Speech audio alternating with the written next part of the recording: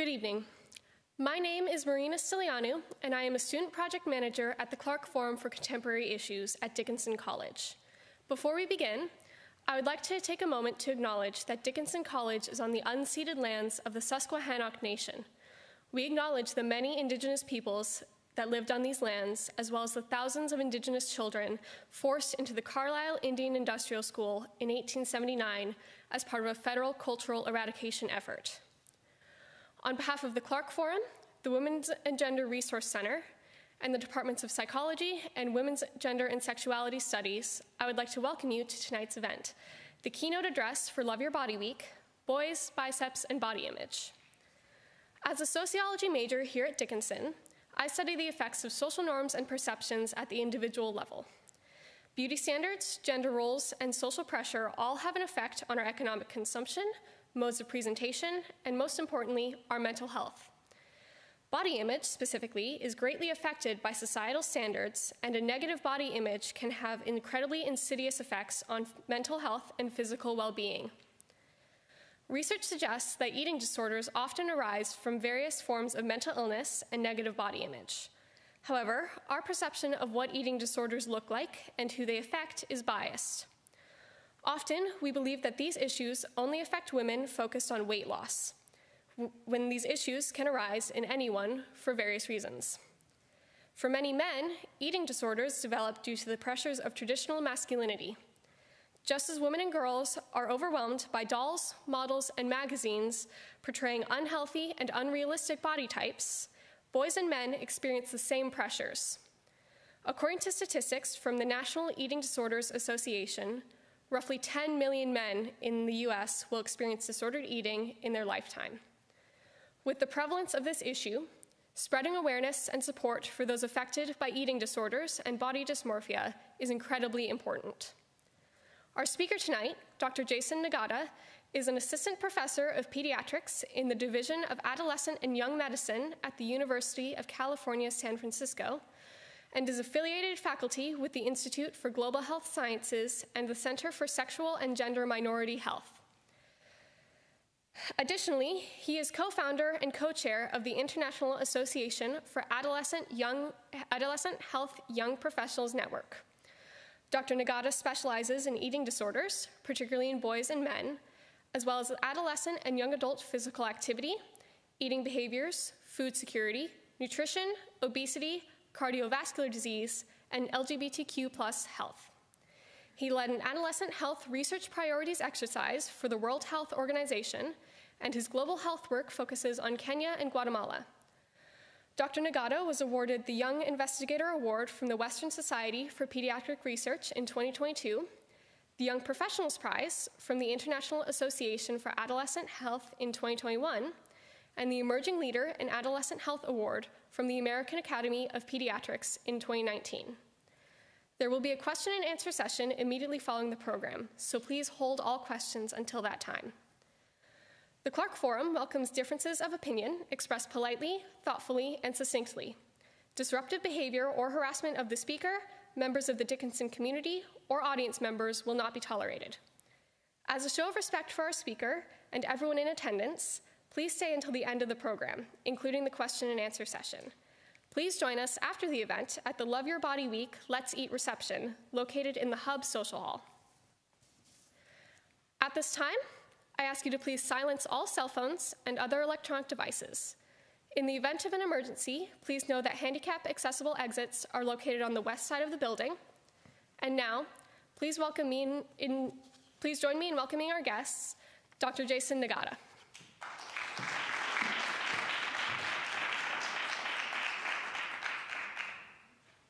Thank you so much, Marina, for that kind introduction and for the opportunity to talk about gender differences in eating disorders and muscle building behaviors for Love Your Body Week. I thought that I would start today's presentation um, with actually a case of a patient that I saw um, in San Francisco in our eating disorders clinic. So this is a girl, we'll call her Ashley, um, although all the names have been changed for the purposes of confidentiality. Um, and she's a 16 year old female who felt fat despite weighing less than 100 pounds. Her goal was to lose an additional 30 pounds of weight.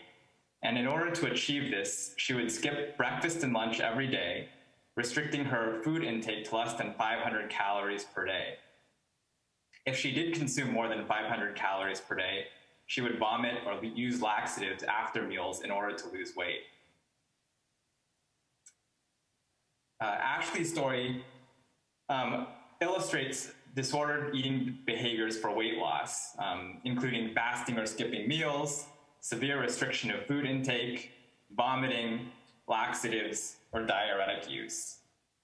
These are classic weight loss behaviors that we associate with eating disorders.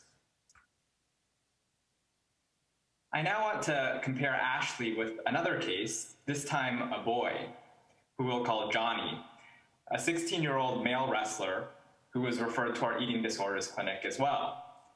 However, when we asked him about the typical behaviors for weight loss, such as fasting, restricting, vomiting, or diuretics, he denied all of them. Nonetheless, his parents um, were very concerned um, and say that he has become obsessed with his appearance, but uh, in pursuit of becoming hypermuscular. He attempts to eat at least 300 calories a day of mainly protein, including egg whites, whey protein powder, and protein shakes. He's tried to eliminate fats and carbohydrates from his diet, and in addition to two hours a day of team wrestling practice, he then goes to the gym individually um, to weightlift an additional three hours per day. So, what do we call this? Is this anorexia nervosa? Is this an eating disorder? In today's presentation, I wanted to highlight um, special considerations that are often under-recognized related to body image and eating in boys and men. So while Ashley's case shows that the uh, idealized feminine body ideal um, often is um, consistent with weight loss and thinness, often for boys and men, there's a drive for muscularity with leanness rather than thinness. And there may be um, shape concerns, uh, particularly related to muscularity rather than weight concerns. And there may also be different terminology. While um, classically we use the term like binge eating behavior in the eating disorder field, um, some people may have very similar behaviors but call them cheat meals, for instance. Um, and while some people may use compensatory behaviors like vomiting or laxatives um, to compensate for overeating during a meal. Um, boys and men may actually use excessive exercise or performance enhancement um, as a compensatory behavior. So, to achieve this idealized muscular body type, boys and men may engage in muscle enhancing behaviors that, as Johnny's case um, highlights, could include protein overconsumption, dietary restriction of carbohydrates and fats, uh, appearance and performance enhancing drugs and substances, which can include anabolic steroids, androstenedione, or creatine, as well as compulsive exercise. Now, while engaging in muscle enhancing behaviors alone may not necessarily constitute an eating disorder, they may put young people at risk for one. One recent diagnosis that may capture this phenomenon is muscle dysmorphia, also known as vigorexia or reverse anorexia, which is a subtype of body dysmorphic disorder. Muscle dysmorphia is characterized by a preoccupation or obsession with insufficient muscularity, though in most cases an individual's build may objectively be normal or even muscular. It's more common in males and may present with engagement in muscle enhancing behaviors. I performed a literature review on gender differences in eating disorders and found that a vast majority of body image and eating disorder research has focused on thinness and weight loss, particularly in females, and actually less than 1% of body image and eating disorder research has focused specifically in male populations. As we've mentioned, the idealized male body image has become increasingly large and muscular. To illustrate this point, I will cite the work of Harrison Pope at Harvard who examined trends in muscularity of male action figures over time. Here we see Batman and Superman action figures from prior to 2000. Now we see the Batman and Superman figurines that our current children play with. Pope found that over a 30 year period, boys' action figures have become increasingly muscular, with larger biceps, shoulders, chests, and more defined abdominal and serratus muscles. Similarly, let's look at earlier Hollywood stars from past decades and the male body image they portray, and contrast that with the current Hollywood stars that also appear to be bigger, bulkier, and have a more defined musculature.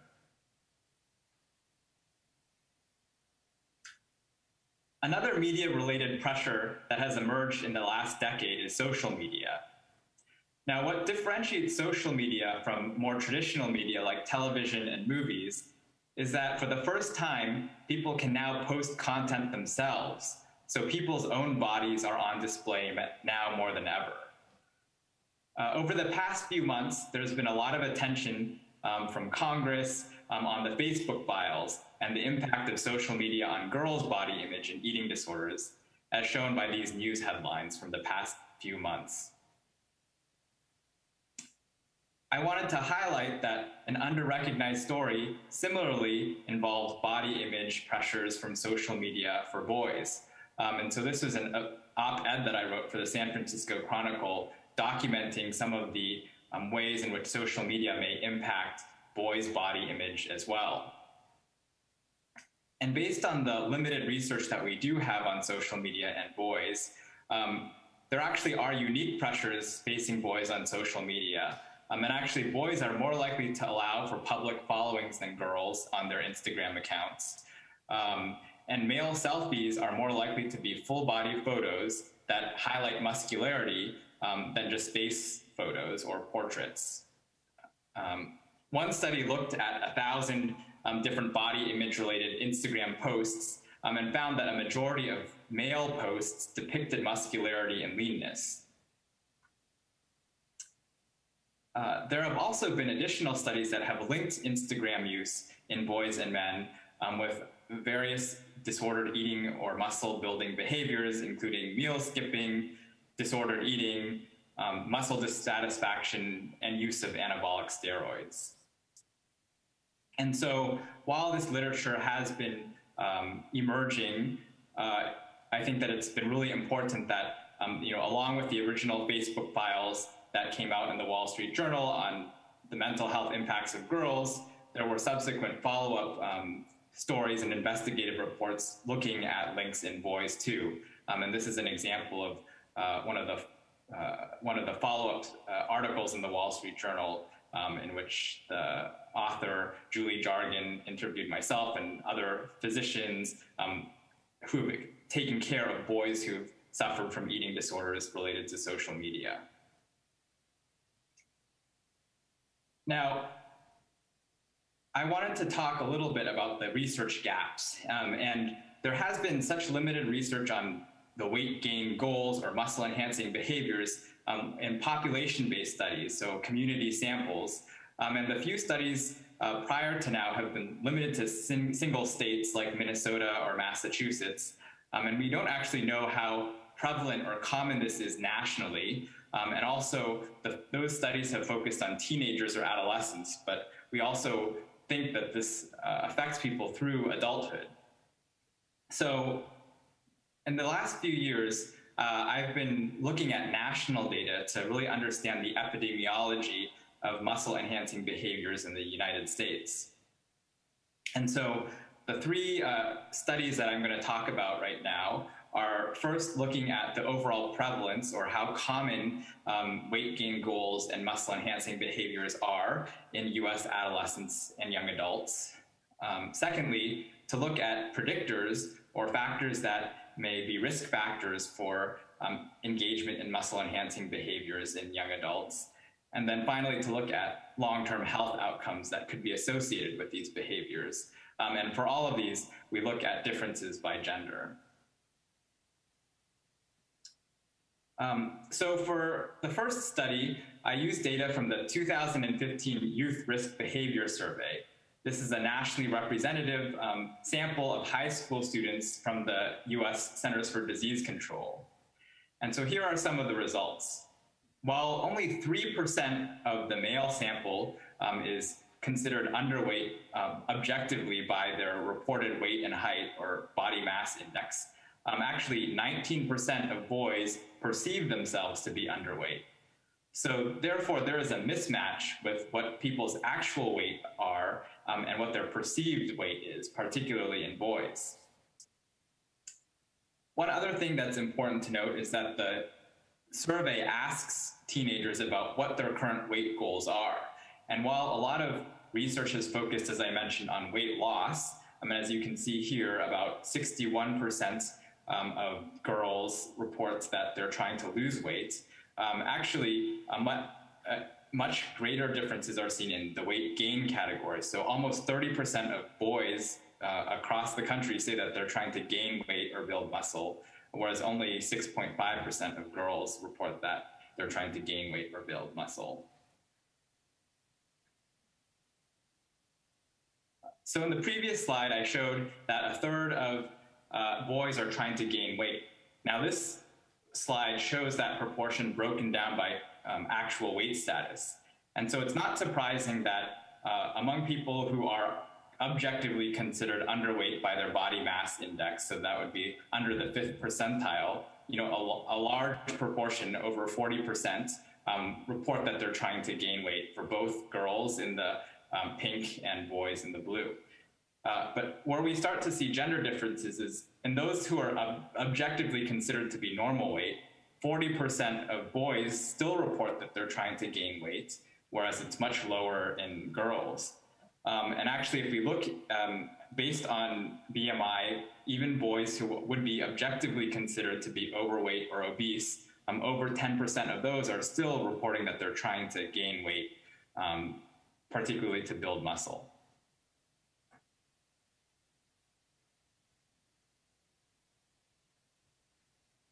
So in order to look into young adulthood, as I mentioned, uh, I had to look at the national longitudinal study of adolescent to adult health called Add Health. Um, the Youth Risk Behavior Survey only looked at high school students, whereas this study started in high school, but it followed people through college and later in adulthood. So here you can see that in the first wave, um, the participants were 11 to 18 years old, um, and then it followed them a year later, and then seven years later, and so on and so forth. So in the next series of slides, I'm going to show prevalence estimates of muscle enhancing behaviors um, on the y-axis by um, age on the x-axis. You can see rates by, um, by age. So here, this is engagement in any muscle enhancing behavior. And you can see that it's higher overall in boys than girls, and it peaks around age 20 to 22, where almost 30% of boys report um, engaging in some muscle enhancing behavior.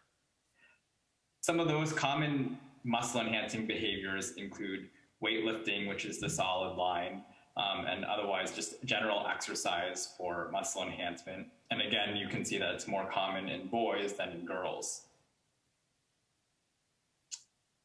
Now, this question looked at supplements um, uh, and specifically uh, supplements for muscle enhancement and dieting for muscle enhancement. Um, and again, you can see higher in males than females, um, but about 6% of males by age 20 or 22 report that they're using that. Um, and there were a number of supplement questions. So this one looks specifically at legal versus illegal supplements. So steroids um, currently are illegal to use in the United States. Um, and you can see that in boys, about 2.8% um, of young adults report using steroids, um, whereas it's much more common to use the legal performance enhancing supplements, which could include creatine, um, where anywhere from 15 to 17% um, of boys report using legal supplements.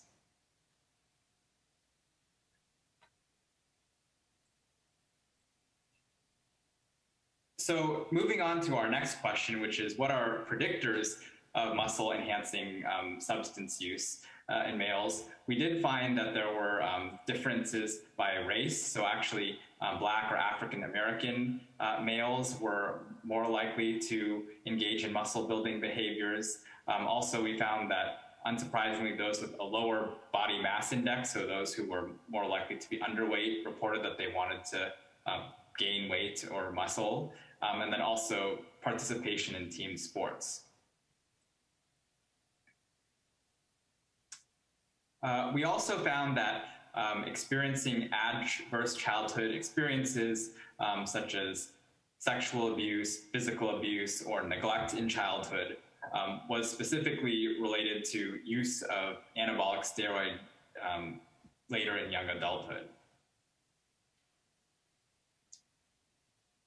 One of the interesting things about the uh, longitudinal sample, so following these same participants all the way from adolescence into their adulthood, is that we can see patterns of use. Um, and so um, one question that we had was, while there are some of these substances that are legal, like as I mentioned, creatine, um, to what extent do those legal substances then serve as a gateway to potentially more harmful and dangerous substances like steroids? So here we looked at um, people who were using legal substances like creatine, um, and this was at ages 18 to 26, so around you know the college years. And then uh, we looked at their use seven years later. And interestingly, we found that uh, those who used creatine or these legal substances at ages 18 to 26 were much more likely to subsequently use steroids seven years later than those um, who didn't use the legal substances. Um, and the next slide just shows the same statistic, but adjusting for um, but adjusting for potential um, confounders. And so similarly, we found that use of these legal substances um, was people who use legal performance enhancing substances were three, more, more than three times more likely to um, engage in steroid use seven years later. Um, and we also found that they were more likely to have alcohol related problems like binge drinking or engaging in risky behaviors while under the influence of alcohol, or legal problems while under the influence of alcohol, or use of alcohol despite emotional or physical health problems.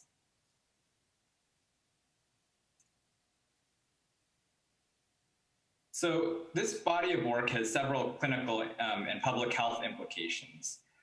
First, I think it's important to note that males and females may have differing body image goals which can lead to different behaviors in pursuit of muscularity and thinness. Now, of course, these are generalizations um, across the population, um, and there certainly, as we have seen, there are some girls who are trying to build muscle, and there may be some boys who are trying to lose weight and become thin, um, but these sort of reflect some of the general trends and gender norms and pressures that um, young people face today.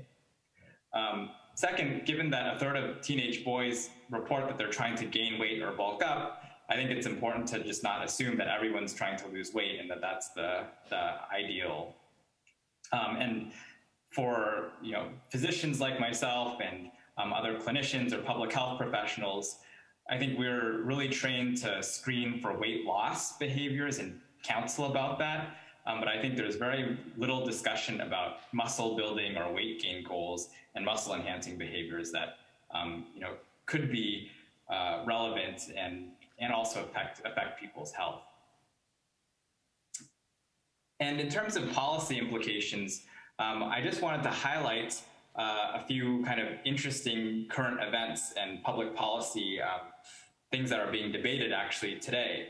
Uh, so back in 1994, um, Congress passed uh, an act that actually, at the federal level, that um, prohibits the Food and Drug Administration from um, really regulating or monitoring um, supplements and diet pills um, at, a, at a national level. And so any regulation um, because of that act has to be done at the state level.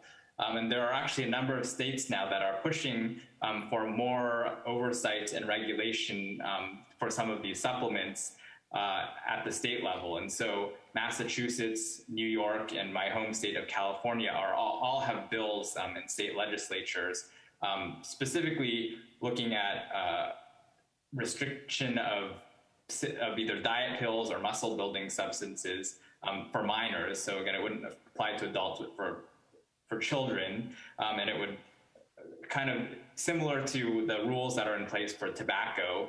Um, it kind of restricts the sales of minor to minors because right now anyone can go to a supermarket or like a GNC or um, or buy these products online, including children. It would uh, require some uh, storage behind like locked displays, um, and then also some signage highlighting some known risks. Um, and so it's just to say that these are actually issues that are being debated right now um, at the state level. And so, as I mentioned, um, California is one of the states in which this is being debated. Um, and the bill in California actually just recently passed through the state assembly and is um, being um, debated next at the state senate level.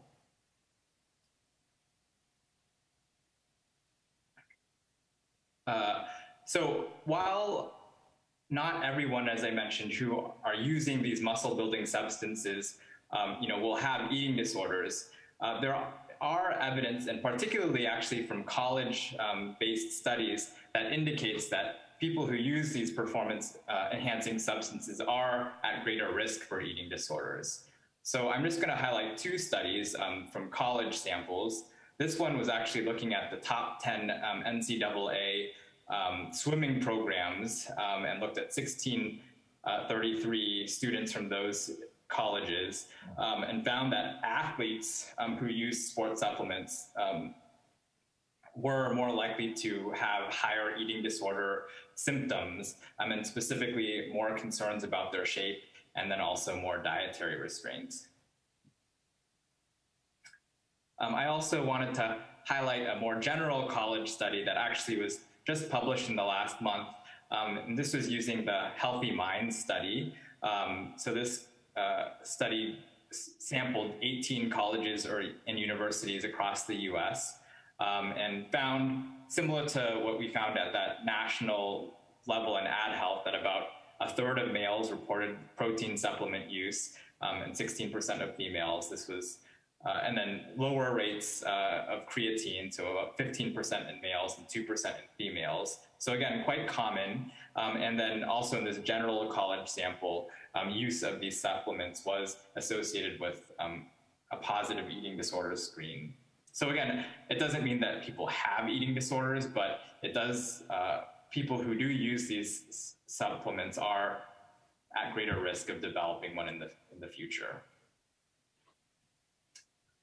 Um, so up until now, we've focused on some of the weight gain attempts and muscle enhancing behaviors um, that I think are kind of under-recognized and, and, novel. But I also wanted to examine gender differences in some of those more classic disordered eating behaviors that traditionally are for weight loss. Um, and so we will use actually those same samples to look at gender differences in, um, in the weight loss behaviors. So um, I actually want to introduce one other case. Um, so this is Robert, a 15-year-old boy who was previously considered obese um, when he was in high school. And because of this, he was teased and he was bullied. Um, and he was actually encouraged by his parents and his pediatrician and teachers to lose weight. Um, so in a period of six months, he lost over 50 pounds um, and went from sort of the quote unquote obese to a normal weight range.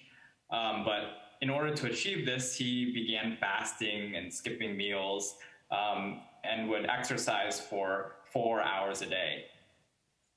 Uh, so he actually eventually was diagnosed with um, atypical anorexia nervosa, which is another new diagnosis that was created in the most recent um, diagnostic and statistical manual. Um, and so, according to the, the DSM, which is sort of the Bible for mental health disorders, um, atypical anorexia nervosa is when all the criteria for anorexia nervosa are met. So, um, you know, fear of weight gain um, and some of those uh, weight loss behaviors. But it, despite um, the weight loss, the individual's weight is either within or above the normal range. Um, and actually, new research has demonstrated that 70% of people with anorexia or atypical anorexia nervosa um, have had a prior history of overweight or obesity. Um, and recent studies have actually shown that um, half of the people now who are uh, either admitted to the hospitals for eating disorders or referred for eating disorder care actually have this diagnosis of atypical anorexia nervosa, um, which is just to say that you really can't tell if somebody has an eating disorder or body image issues just by their appearance. Um, you know, half of the people who we care for with eating disorders actually would objectively have a quote unquote normal or above normal weight range. Um, but of note, the studies that have looked at atypical anorexia nervosa have found um, equally severe um, eating disorder symptoms and medical complications um, in this atypical versus typical um, anorexia nervosa. So it is still a very serious um, illness that has important mental health and physical health consequences. So um, given the rise in presentations of atypical anorexia nervosa, um, and then the understudied intersection of eating disorders and, and obesity and gender, um, I wanted to examine uh, the epidemiology of uh, disordered eating behaviors, both by gender and by weight status. Um, and so I had a similar uh, set of aims, first to look at the prevalence of disordered eating behaviors, um, and then look at predictors, and similarly looking at outcomes, um, and for each of these to look at differences by, by gender and by weight status. So I wanted to provide some definitions, the terms that I will be using for uh, these set of analyses and slides. Um, so the survey asked about unhealthy weight control behaviors, which refers to vomiting, fasting, skipping meals, or laxative or diuretic use to lose weight. Um, binge eating behaviors are defined as eating so much in a short period that they would be embarrassed if others had seen it. Um, and then disordered eating behaviors uh, include all of the above. So either uh, engaging in an unhealthy weight control behavior or, or binge eating. So this is just a graphical representation of the three questions that we will go through. Um, again, using that uh, longitudinal cohort study that follows people, uh, the same set of people from their teenage years through later adulthood. And so the, the first aim is looking at the prevalence in young adulthood. So again, sort of college age, 18 to 26. Uh, the second aim is looking at um, adolescent predictors of these disordered eating behaviors. Um, and then the last aim is to look at potential health outcomes and particularly uh, cardiovascular um, and metabolic outcomes at seven year follow up. So we used the same uh, cohort study, the National Longitudinal Study of Adolescent um, to Adult Health, which follows these same people over uh, several years from their teenage years to young adulthood. Um, and so let's look at the prevalence data from our first aim, um, looking at how common this is in young adults. So this is a bar graph of the prevalence of disordered eating behaviors by gender and by weight status. Um, females are in red and males are in blue. Um, and young adults who are considered underweight or normal weight um, have a BMI less than or equal to 25 kilograms per meter squared um, on the left, and then those considered overweight or obese have a BMI greater than 25 on the right.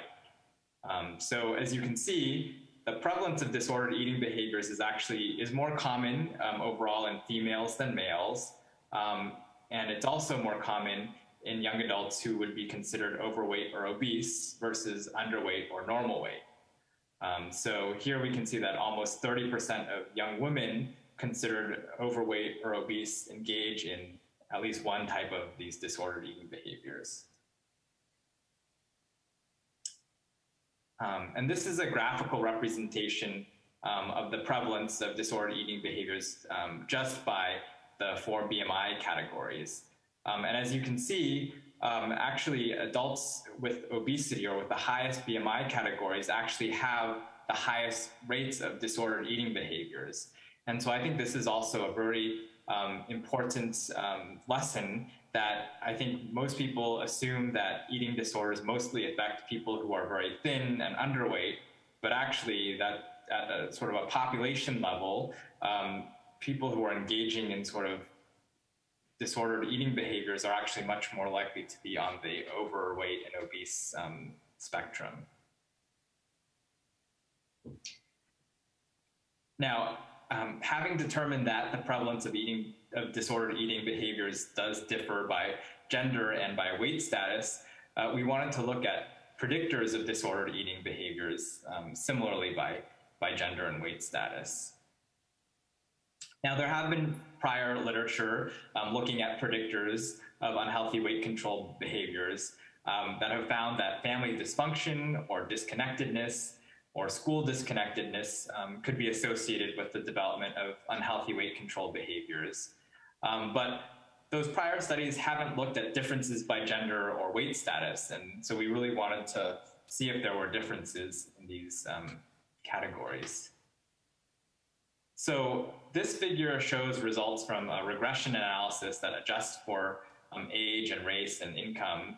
Um, and here the top set of predictors are um, family factors, um, and then there are also school and community factors that you can see.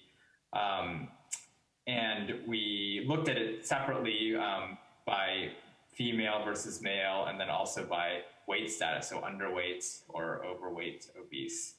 Um, and so one thing that I think is really striking is that all those traditional risk factors that have been identified previously really only applied to the um, female sample who were underweight or normal weight.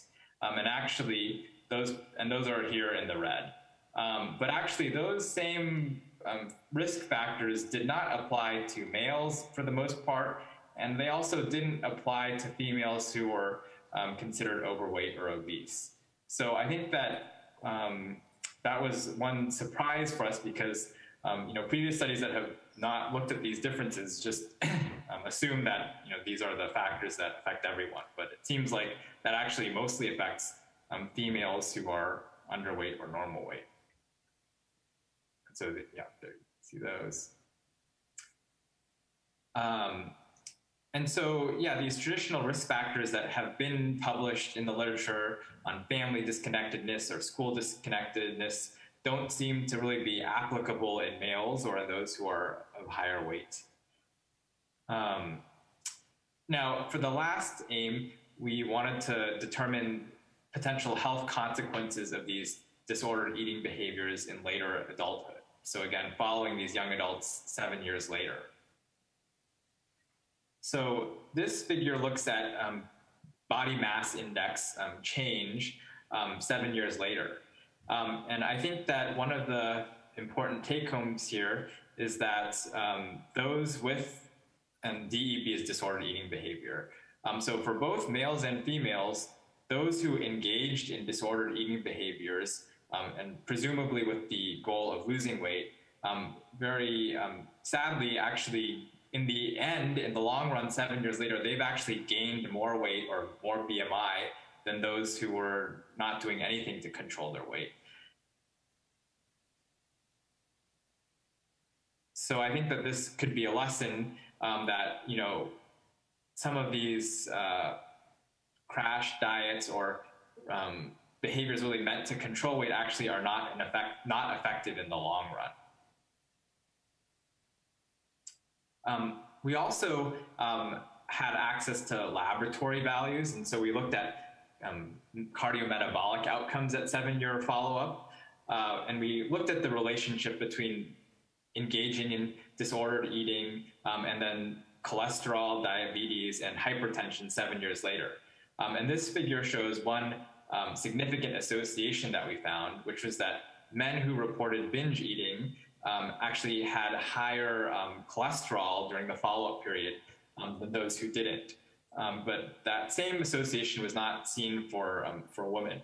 Now, we don't know exactly why that is, but some possibilities um, could be that we, that men may binge eat on certain types of foods that are different than females. So as we mentioned, like the cheat meal or binge eating, you know, men may be more likely to eat fatty foods or, or like meat products, whereas some studies have shown that women are more likely to binge on sweets. Um, and so that may be one of the differences related to the, the cholesterol differences, um, but we're really not sure why. Um, and so this is just showing that same uh, thing, that's the graph, but this is also adjusting for um, potential other factors that could influence that. But that finding still held true in the, in the men. Uh, we also looked at diabetes risk. Um, and so in just sort of unadjusted comparisons, we similarly find that men and women who um, engage in disordered eating behaviors actually have higher risk of diabetes seven years later. Um, but after adjusting for some factors that could influence that outcome, like race, age, uh, and baseline BMI or education, um, those uh, associations were uh, were less significant, were no longer significant, and we didn't find associations with hypertension. So, uh, just in summary, uh, we found that disordered eating behaviors were more common in females and also young adults um, who would be considered overweight or obese. Um, and young adults who engage in disordered eating behaviors are actually more likely to gain more weight and BMI in the long run than those who don't. Um, and uh, binge eating behaviors are associated with um, higher cholesterol in males, and possibly because of the different types of foods that they may binge on. Uh, so thus far, we've looked at research looking at population-based um, studies across the U.S um, that have really looked at the epidemiology of muscle building behaviors and eating disorders. Um, and I wanted to uh, talk briefly about um, actually some medical or clinical research um, looking at um, some of the medical complications of eating disorders in adolescent boys and young men. And so, as a physician um, researcher, while I do do population based research, um, as I mentioned, I also take care of um, teenagers and young adults who are um, medically compromised with eating disorders and need to be hospitalized. And so, um, another area of research that I have is looking at um, medical complications of eating disorders for among people who actually have a diagnosis and, um, and are suffering. And so, I have also been looking at gender differences in medical complications of eating disorders. Um, and I think it's just important to note that you know eating disorders are very complex because there's obviously a very strong mental health component, but because of the energy imbalances and starvation states, um, you know there are also very serious physical health consequences. And actually, eating disorders can cause um, consequences uh, and medical complications in every organ system of your body, from your heart to your brains, your lungs, um, to your um, blood system. And again, similar to previous trends, you know, most research has focused on female samples, but there is a limited and growing um, body of research looking at medical complications of, of eating disorders in males. And so this is just an example of one review article that we looked at. Um, and I, I, do think that one, um, from the medical standpoint, one reason why eating disorders may be underdiagnosed and underrecognized in boys and men is actually because um, there's so limited research on the topic. Our current guidelines for providers um, and even that um, diagnostic and statistical manual, the DSM um, handbook for diagnosis, I think is very skewed towards female samples. And so up until very recently, actually, the that DSM um, required that in order to have a diagnosis of anorexia nervosa, um, you had to have skipped periods. And obviously, boys don't have periods, so that um, doesn't really apply to them. And uh, the medical term for a missed period is amenorrhea. Um, and still, throughout our medical guidelines, there are um, places that say that um, you know using periods as a marker of medical instability for further workup. And so this is just an example of one of our current guidelines that says that if you miss your period for six months or more, um, that puts you actually at increased fracture risk um, and and lower bone density, and so you should ob obtain an X-ray to assess for bone density. Um, but uh, boys don't have that amenorrhea marker, so there's no guidance as to when to you know assess bone health in, in boys with eating disorders. Um, and so one specific question that I wanted to look into is actually what is what are bone impacts in boys with eating disorders? And I think one thing that is um, you know interesting about eating disorders is that because they often onset during the adolescent and young adult period, um, you know if if a young person is affected by an eating disorder while they're in puberty, there can be some of the sort of irreversible effects can be if you you know sort of miss your growth spurt or your window for growth. Um, you know you may not be able to grow it back later in life because you sort of have that critical puberty window to to gain your height. Um, and actually, bone health is very similar to to your growth spurt in that you have a certain period in which you can accrue bone density, and that also mirrors your your puberty. And so when people um, are affected by eating disorders during that critical time period in puberty, um, they, you know, maybe basically they may stop growing, and so they may be shorter than they normally would have been otherwise, and they also um, may have weaker bones because it happens during that important developmental window.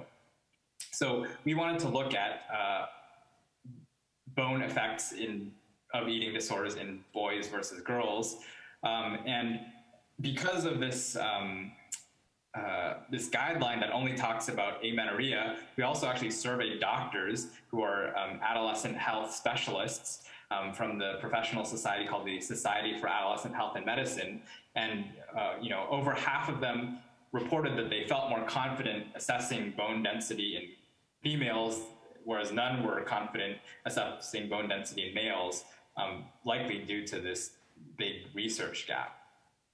Um, and so we did compare bone density in males versus females with anorexia nervosa um, using these X-rays on or DEXA scans, um, and basically found that um, males with anorexia nervosa have just as severe bone deficits um, across all bone sites, so the entire whole body, the spine, um, your femoral neck, and your hip. Um, compared to females, despite the fact that there's no guidance as to when to assess for bone density in, in males. Um, one other area that uh, I recently um, looked at, actually just this article was just published within the last month, was also looking at nutrition um, protocols for uh, people who are hospitalized with eating disorders. So um, this was actually looking at all of the teenagers and young adults who we who have been hospitalized at UCSF in our hospital um, over the last eight years.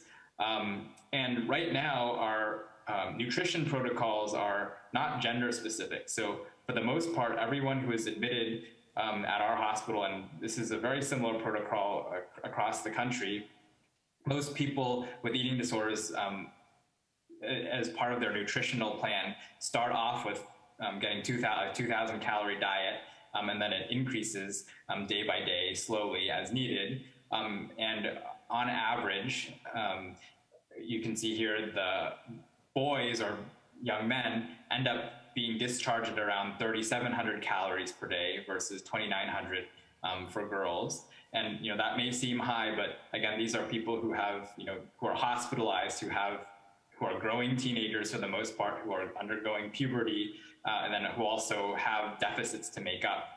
Um, so on average, there are, you can see that um, boys actually require more nutrition than girls, um, but because we don't have a differentiation, um, they end up being hospitalized for longer because they, it takes longer to get to that goal. Um, so that is just another way that I feel like um, care for boys with eating disorders is is lacking. So, um, just to sort of wrap up that, um, I'm actually very excited that um, all of this work that we've been working on um, has culminated in a book that was actually just published in 2021, so just in the last year, um, providing clinical guidance for eating disorders in, in boys and men. Um, and actually, right now, um, actually this week, in fact, we are updating that um, guideline from the Society for Adolescent Health and Medicine to include more, to be more gender inclusive and include some of the, um, the points about how to help guidance for, for boys and men. Um, and I'm also very excited to be working on um, future research looking at eating disorders and muscle dysmorphia in uh, diverse populations, not just by gender, but also by sexual orientation. So um, we have uh, access to data from the PRIDE study, which has 20,000 LGBTQ people across the US. Um, and then also looking at eating disorders um, cross-culturally um, in international settings. Um, and so, yeah, just as an example, we are uh, we have done this eating disorder and muscle dysmorphia assessment among all the participants in the PRIDE study. So um, we're sort of publishing now for the first time some of the eating disorder symptoms and muscle dysmorphia and um, and muscle building supplement use um, in LGBTQ populations.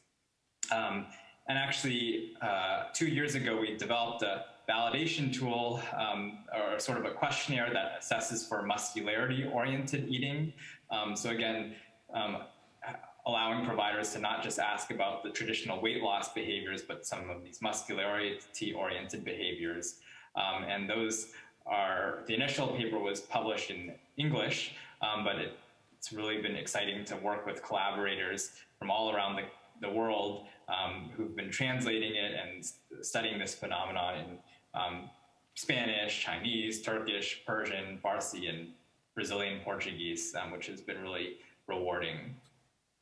Um, and just to close, um, since we, you know, unfortunately are still dealing with the pandemic um, and various resurgences, um, you know, the pandemic I think has had a really especially hard toll on people with eating disorders. Um, you know, the social isolation, disruption in daily routines, and just generalized anxiety has really made it worse, um, and also just has had um, I think we've had a lot more new cases, and those who were already affected have just, uh, I think, really been suffering more and more.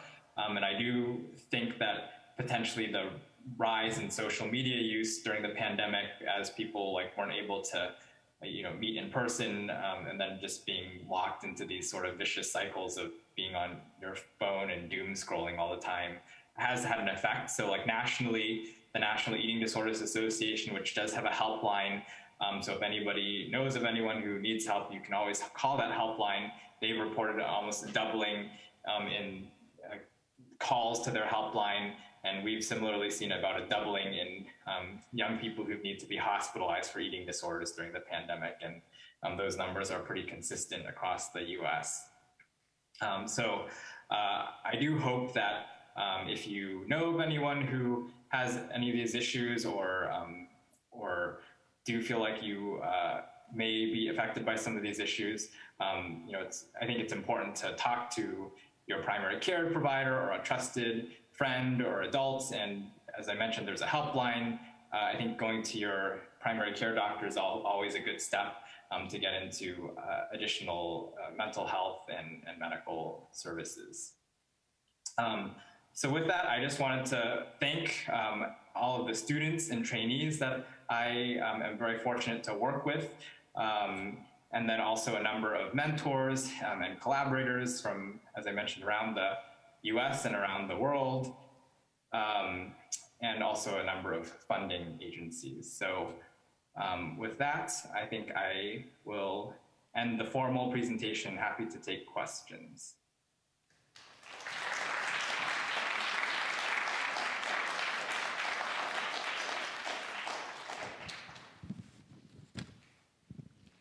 It is now time for the question and answer session. Because this event is being recorded, please raise your hand and wait for the microphone to reach you before asking your question. We reserve the first questions for students and then we will open it up to the rest of the audience. We will now take the first question.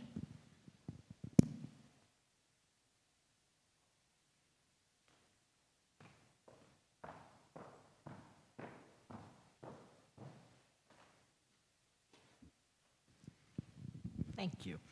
Um, so you discussed how you're uh, seeking to expand into research in LGBTQ populations. Um, I was curious if, uh, just like preliminary or um, you're you're looking at all into um, specifically like trans men who take steroids as a part of therapy and how that might impact some of the other factors where you're looking at men and their steroid use as an actual symptom or, or signal of eating disorders.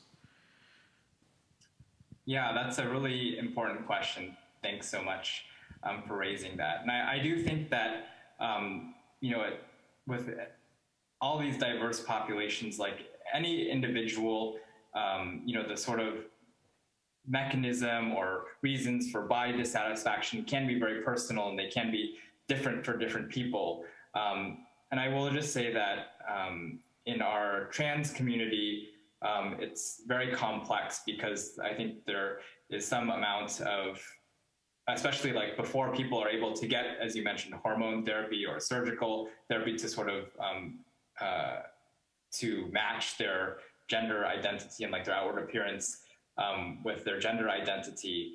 Um, there is just a lot of dissatisfaction, I think, with with one's body. I think that just gender identity, there it's so entwined with gender norms and these appearance norms. So I do think that like our, I, I have to say that um, perhaps the highest rates that we've seen of, of eating disorder or body dissatisfaction, at least in our clinic population, um, has been in uh, gender minority populations.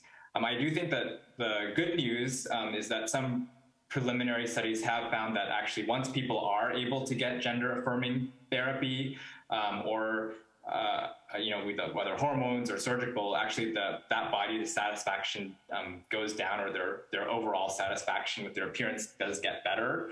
Um, so that I think is good. And in some ways, um, it's, yeah, I mean, that is actually part of the therapy for, for dealing with, with body dissatisfaction. But to your point, I think uh, my main concern is actually just the use of anabolic steroids like without the supervision of a medical professional. Because if people are using these illicit substances on their own without any monitoring you know there are um, you know, like very significant consequences to all your organ systems like your heart kidney or um, liver. And so um, you know if people are i mean I, I certainly do think that hormone therapy in transgender populations can be warranted but i would not advise people to do it on their own. I think they need to have uh, support and sort of monitoring for that.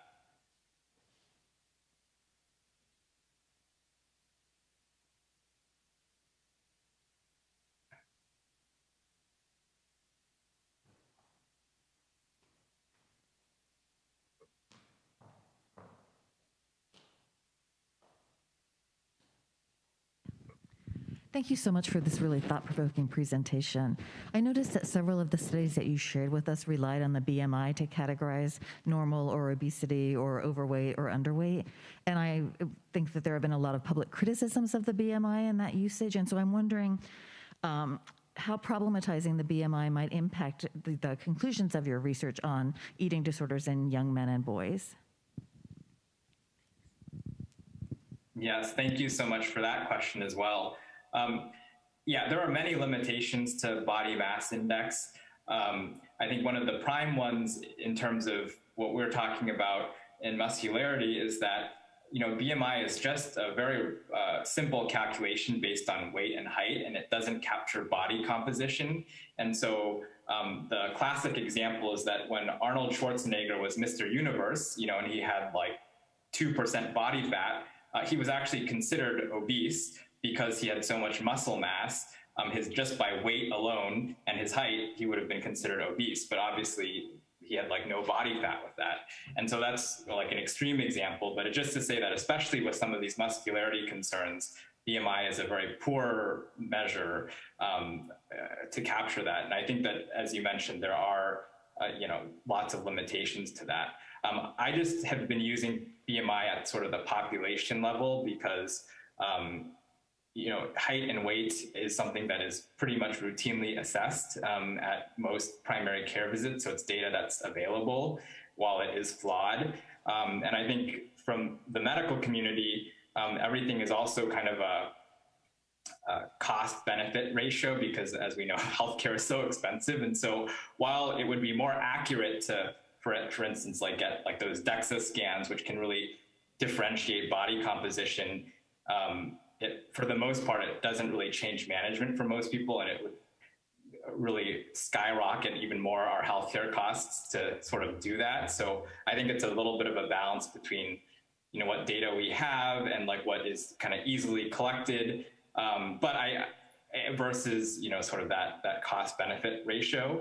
Um, but I think you're absolutely right in, in that these categories um, can be stigmatizing, um, especially um, you know like referring to people as like overweight or obese. And, and I think part of what I was trying to capture is that um, as a medical community, we need to be very careful with our language too, because I, I do think that um, the obesity epidemic has been sort of in the common narrative and popular media um, and is very much um, you know on the minds of even medical professionals like assessing for obesity is recommended, you know, by national organizations.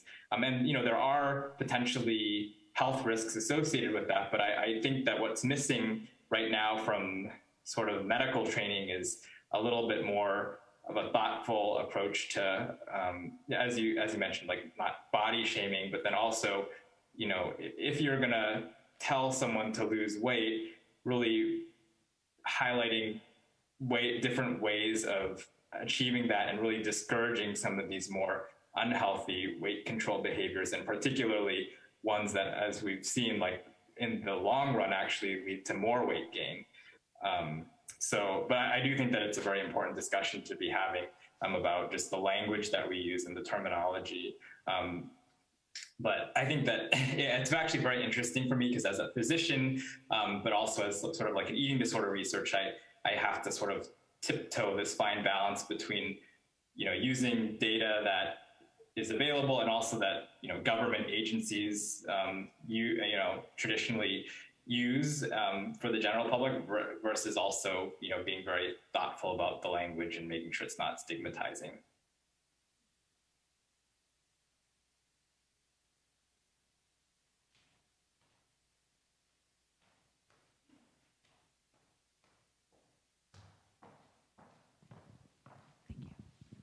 Hi, uh, thanks again for coming to speak with us. It's been a great presentation. Um, so in your presentation, you talk a lot about like the social factors surrounding eating disorders, which I think is very important, but it kind of got me thinking about biological factors too between um, males and females. And I was kind of wondering about the different metabolic processes. Um, this might be a complete overgeneralization on my part, but I know that um, a lot of times it's said that males have faster metabolisms than females, and I'm not. I'm curious if that has any um, relation to the prevalence of eating disorders in males and females, if that's a factor that you guys look at, or um, anything like that, or other biological factors. Yeah, that's a really great question, and I'd love to do more research in that realm. Um, I will say that some of the preliminary research that's been done on biological factors has shown that um, eating disorders um, can have like a genetic component. So, um, like the most commonly researched genetic factor for, uh, or diagnosis is anorexia nervosa, and it does seem like there are particular genes that could be associated with that. Um, but I, I, do think that, yeah, the, there is so much data that needs to be um, more research in males because I, I do think that the current diagnostic um, categories that we have, like anorexia nervosa and bulimia nervosa, are very female centric in themselves. And I guess part of what I, I, I, guess I haven't said overtly yet, but what I, I eventually am trying to say in moving forward these guidelines is that our current eating disorder diagnoses don't really capture this muscularity oriented um, phenomenon. And so I think we need to have better characterization of that. For the most part, these boys and men who are coming to our clinic um, don't get they don't meet these criteria, so they just get an unspecified eating disorder diagnosis. Um, and I think that does have um, implications for like getting into treatment and therapy because if they don't, you know, meet certain criteria, then their insurance won't cover certain things. Um, so I, I, do think that more research needs to be done in that, um, and specifically in those biological mechanisms but yeah, we, we just, we haven't gotten there yet, but I, it's a great, I think, direction for future research.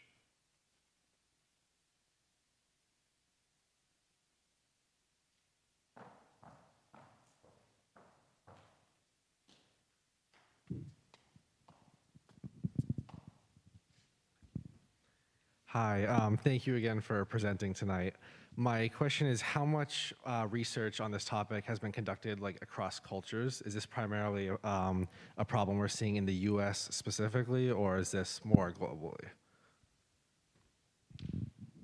Yeah, that's a great question. And I, I think that um, it has, you know, there's already been such limited research in the US, but we are showing that, you know, it is quite, uh, at least some of these general sort of muscularity concerns, performance enhancing subs, you know, supplement use are quite common in the US. Um, but um, there are, I feel like one of the, yeah, the future research directions that I've been mentioning is that we, I think we recently did a five country collaboration um, looking at this in Mexico, the US, Canada, Australia, the UK. Um, and you know, I think there were somewhat similar trends, but I think what I'm actually most excited about is, um, as I mentioned, we have um, collaborators in Argentina and Brazil, in which we were seeing similar trends with with muscularity. Um, interestingly enough, there was actually an international body image conference in Mexico right before the pandemic, um, and I was, I, even though I sort of thought that steroid use was, you know, more would be more common in the U.S. Um, actually, in Mexico, you can just buy steroids at, at like over the counter at pharmacies there, and they like advertise them quite heavily. So I, I was a little bit shocked actually that um, that you know that it's just that easily accessible there. Um, and, um, and, and as I mentioned, we have also been collaborating with people in China, and so I, I, so I do think that you know there's more certainly to come, but it does seem like these muscularity pressures um, have have permeated cross culturally.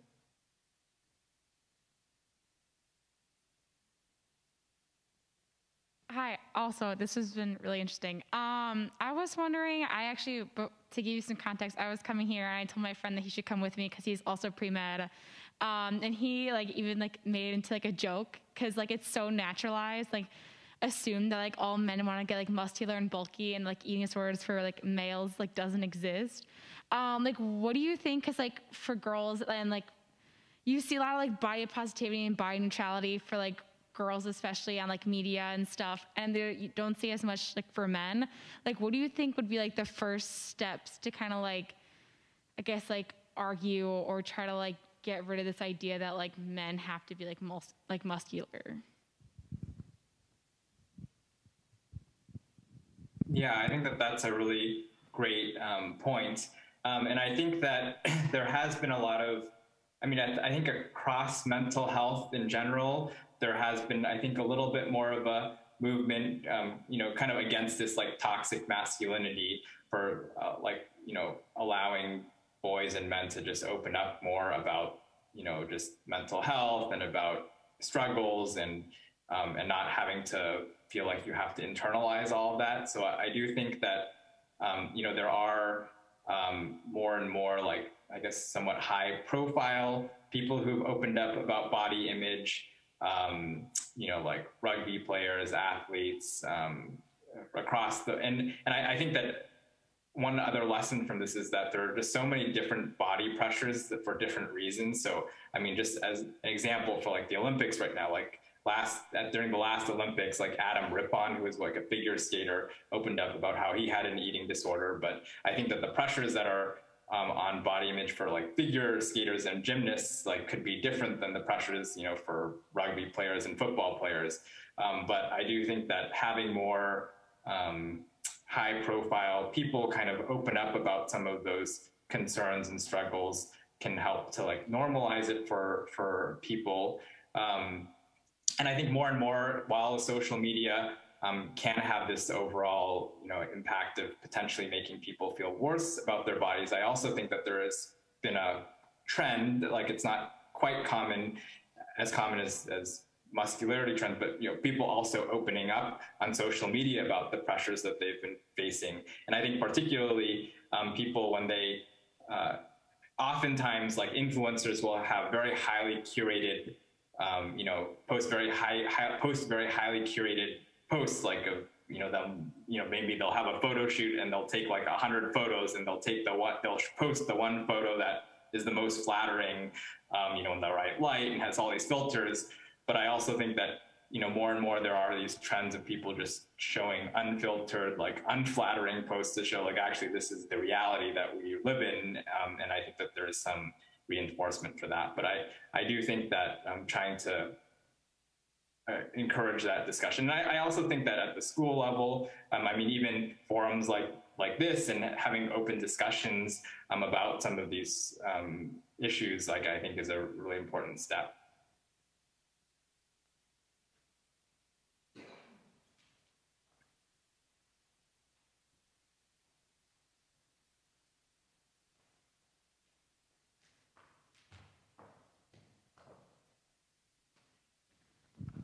Um, thanks for your presentation today.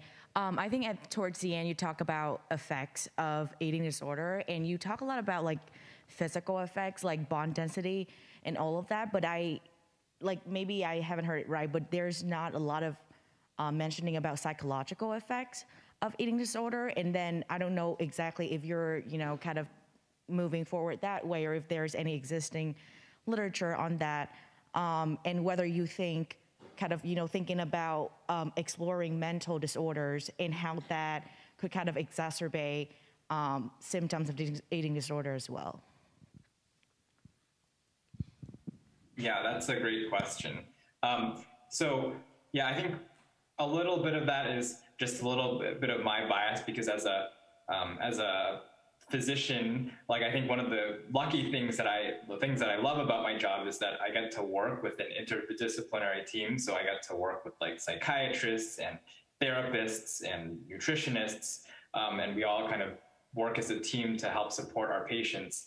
Um, but because of that, I think my clinical focus is a little bit more on the physical health side. So that's why some of my research has reflected that a little bit more. But there certainly is a lot of really important mental health work um, and research to be done. And I've like dabbled in that a little bit, but I'm, you know, I'm not a licensed psychologist or a psychiatrist. So I think a little bit of that is just my own limitations and, um, training. Um, but I do think that some, from what I know offhand, I actually do think that there have been some preliminary studies on like mental health comorbidity and eating disorders, because there are, you know, many patients who, in addition to having an eating disorder, could have depression or anxiety um, or, or, a substance use disorder. Um, I think some of the early studies actually showed that men with eating disorders were more likely to have um, comorbidity with other mental health diagnoses. And so I do think that um, trying to understand like exactly what that overlap is and, and why, um, particularly with substance use, I think would be an important area for future work. We have time for one more question.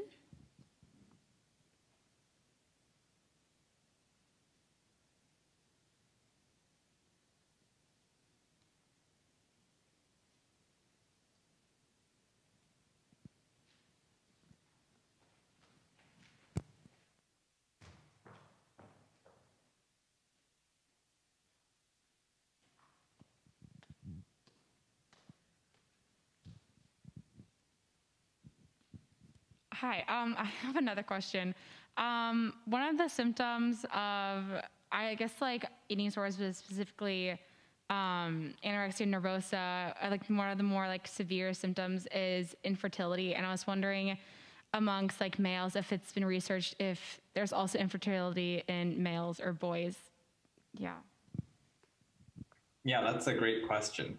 Um, so I don't know if there, I don't know direct studies that have looked at infertility, but um, as I mentioned, you know, when you're in a starvation state or malnutrition, um, you can have your basically your body basically shuts down, and so it kind of preserves the limited energy that you have um, for your vital organs. So you know, it, uh, prioritizes your heart and your brain, and everything else kind of shuts down. And so that includes your um, what we call our hypo, like our HPG axis or hypothalamic um, pituitary gonadal. It was just to say that the our hormones shut down, including in men, that would be like sort of your testosterone levels. So so boys with eating disorders, depending on how severe it is, have much lower testosterone levels. Um, and so I imagine that that can influence your I guess, fertility and as well as libido. Um, so um, again, there haven't been like a lot of studies in, in that, but um, but certainly it's been documented that like sex drive and testosterone levels in in boys goes down, and then that also uh, affects growth, as I mentioned. This concludes tonight's presentation. Please remember to join us at the Hub Social Hall for the Love Your Body Week Let's Eat reception, and please join me in thanking Dr. Nagata.